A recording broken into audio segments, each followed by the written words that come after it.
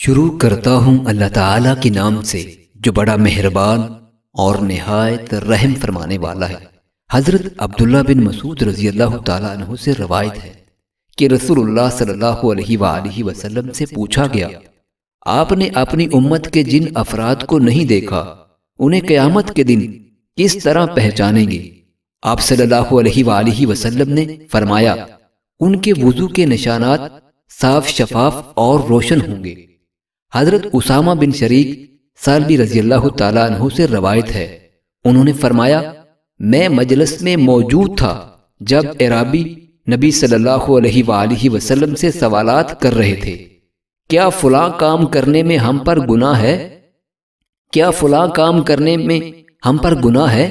तो आप सल्लल्लाहु अलैहि वसल्लम ने उनसे फरमाया, अल्लाह के बंदो, अल्लाह ने हरज, तंगी को दूर कर दिया है। मगर जिसने अपने भाई की इज़्ज़त में से एक हिस्सा काट लिया यही है जिसने गुनाह किया। उन्होंने कहा अल्लाह के नबी क्या हमें इस बात से गुनाह होगा कि हम बीमारी से शिफा के लिए दुआ का इस्तेमाल ना करें?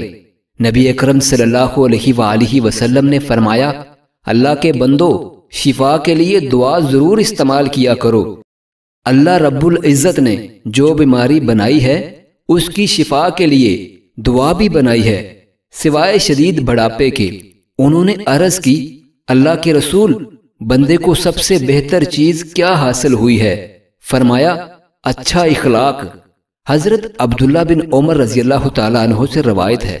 रसूलुल्लाह सल्लल्लाहु अलैहि वसल्लम ने फरमाया, जब तुम सोने लगो तो आँखों में असमत सुरमा लगाना ज़रूरी समझ लो, क्योंकि वो नज़र को तेज करता है और पलकों के बाल उगाता है। हज़रत अब्दुल्ला बिन अब्बास रज़ी अल्लाह तु से रवायत है, नबी करीम सल्लल्लाहु अलैहि वसल्लम ने इरशाद फरमाया, तुम्हारा बेहतरीन सुरमा असमद है, वो नज़र को तेज करता है और पलकों के बाल उगाता है।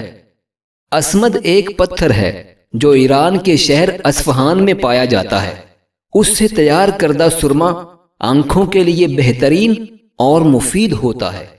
मुज्जज नादरीन, अल्लाह ताला हम सबको नबी रहमत सल्लल्लाहु अलैहि वसल्लम की इन अहादीस मुबारका पे अमल करने की तौफीक अता फरमाए। आमीन।